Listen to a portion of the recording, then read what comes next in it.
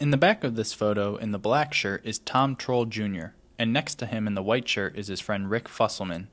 Tom passed away on July 18th of natural causes, and according to Rick, he was a big pillar in the wrestling and toy community. Every time you saw him, he had a smile on his face. It literally did not matter if life was handing him lemons. He would just shrug and laugh and just be like, I'm gonna go buy myself a toy. And like the worst thing could happen, and that's what he would always do, is he would just shrug it off, laugh, and just like move on. The two met through wrestling. Tom performed in the shows as a heel, or bad guy, and Rick heckled him from the stands.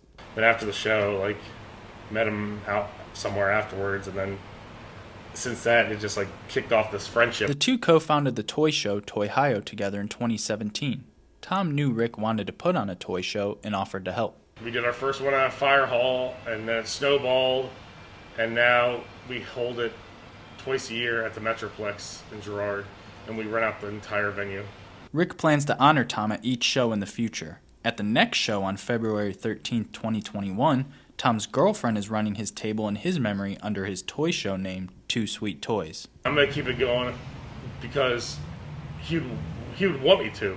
Rick is hosting a Facebook live auction on Time Capsule Toys Facebook page Wednesday at 4:30 and also selling t-shirts with this graphic on them to raise money for Tom's services.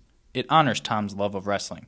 Rick made it obvious that Tom impacted everyone's life he touched in a positive way and his friends will remember him for many things, including his patience and tolerance. Honestly, he was like larger than life. In Girard for WKBN 27 First News, I'm Brandon Jaycees.